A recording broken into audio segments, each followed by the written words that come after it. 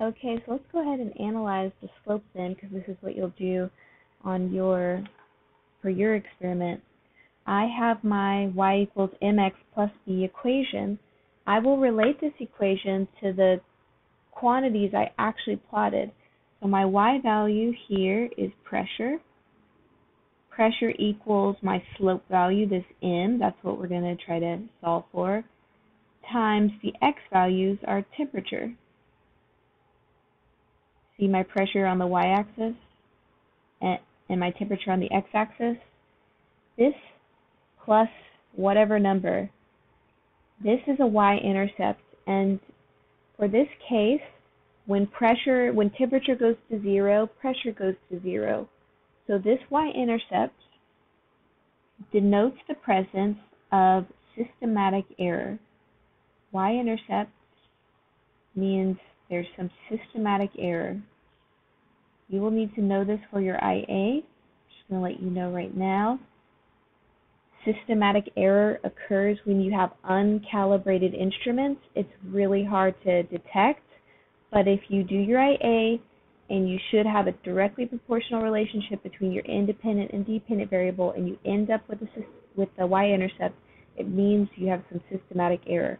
We will ignore the y-intercept in this um, experiment. And all I'm going to ask is that you figure out what your slope value means. I know that pressure and temperature are proportional to each other, and I know the proportionality.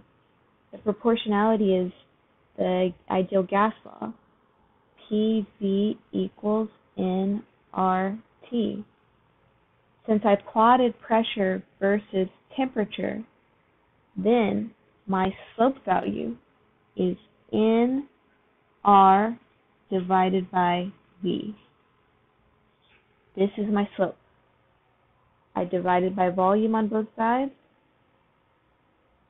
And when you do that, you have pressure equals NR divided by V times T. So this 5,912 for my linear equation should equal NR divided by V. Well, what's the N value? The number of moles. If you go to your simulation and make sure that you kept it constant, for this case I chose 150. That's my number of particles. My number of particles um, divided by Avogadro's number. So the N value, my N value is 150 divided by Avogadro 6.02 E23 the R value, this is the gas constant. It has a number 8.314 It's a constant, and it is in your data booklet. And the volume, so I told you in the paper that the height is always 10 nanometers, that's 10 e negative 9 meters. The depth of this box is 3.5 e negative 9, that's 3.5 nanometers times the width. The width is whatever you had it in the simulation. Most likely you left it at 10 nanometers, but if you change the width, not a big deal. Just make sure to record this. So I think if you have volume constant, you can't change it. Okay, times 10 e negative 9. So when I do n times r, 150 times 8.314 divided by 6.02 E23, I get a very small number, 2.07 E negative 21, and then I divide by the volume. I divide by open parentheses 10 E negative 9 times 3.5 E negative 9 times 10 E negative 9, and I get a slope value then that is five thousand nine hundred one eight.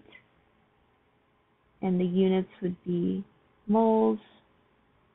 Actually, I could just do Pascal per Kelvin because the slope units are the rise units over run units. And you can see, actually, I would round this up a little bit. You can see that it's pretty close to the value here. Okay, So hopefully you found this video helpful. Thanks for watching.